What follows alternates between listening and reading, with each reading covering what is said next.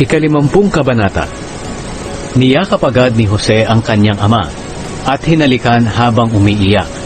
Pagkatapos, inutusan niya ang mga lingkod niyang manggagamot na imbalsamuhin ang kanyang ama. Kaya inembalsamo nila ito. Tumagal ang pag-eembalsamo sa kanya ng apat na pong araw. Ayon sa kinaugalian ng mga Ehipsyo. Nagluksa ang mga Ehipsyo sa loob ng pitumpong araw. Nang matapos ang kanilang pagluluksa, sinabi ni Jose sa mga opisyal ng Faraon, Kung maaari ay sabihin ninyo sa Faraon, na pahintulutan niya akong ilibing ang aking ama sa kanaan, sapagkat bago siya namatay, ipinasumpa niya ako na ilibing ko siya sa libingang ipinagawa niya sa kanaan. Babalik din ako agad pagkatapos ng libing. Nang malaman ito ng Faraon, sinabi niya kay Jose, Tuparin mo ang ipinangako mo sa iyong ama. Umalis ka at ilibing siya. Kaya umalis si Jose, kasama ang maraming opisyal ng Faraon, ang mga tagapamahala ng palasyo, at ang mga tagapamahala ng Ehipto. Kasama rin ang sambahayan ni Jose at ang sambahayan ng kanyang ama, pati ang kanyang mga kapatid. Ang naiwan sa Goshen ay ang maliliit nilang anak at ang mga hayop nila. Kasama rin nila ang mga karwahe at mga mga ngabayo. Talagang napakarami nila.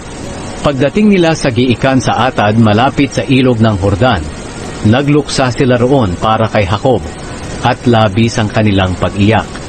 Labis ang kalungkutan ni Jose sa loob ng pitong araw para sa kanyang ama. Nang makita ng mga Kananeo ang pagdadalamhati nila sa may giikan sa Atad, sinabi nila, labis ang pagdadalamhati ng mga Ehipsyo. Kaya ang lugar na iyon na malapit sa ilog ng Hordan ay tinawag na Abel Mizraim.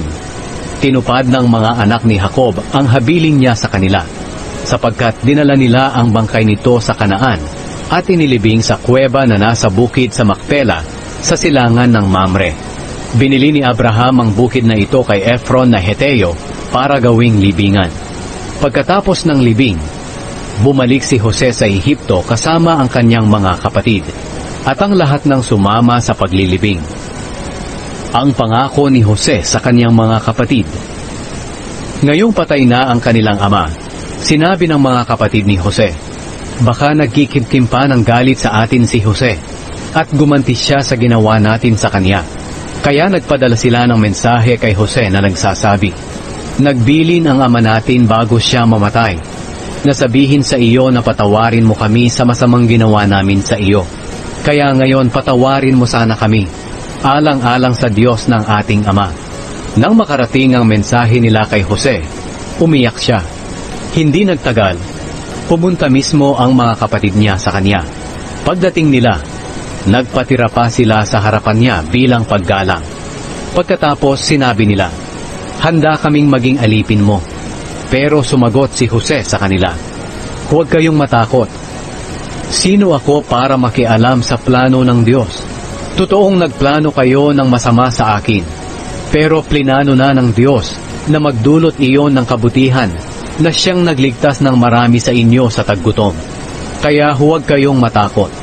Susustentuhan ko kayo ng pagkain, pati ang mga anak ninyo. Pinangakuan sila ni Jose at nakapagbigay ito ng kaligayahan sa kanila. Ang pagkamatay ni Jose Nanatili si Jose sa Ehipto kasama ang buong sambahayan ng kanyang ama. Nabuhay siya ng isang daan at sampung taon. At nakita pa niya ang mga apo niya sa tuhod sa anak niyang si Ephraim at sa apo niyang si Makir na anak ni Manase. Itinuring niya bilang sariling anak ang mga anak ni Makir. Ngayon, sinabi ni Jose sa kanyang mga kamag-anak, Malapit na akong mamatay, pero hindi kayo pababayaan ng Diyos.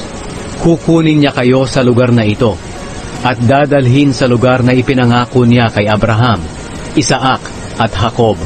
Pagkatapos, pinasumpa ni Jose ang mga Israelita.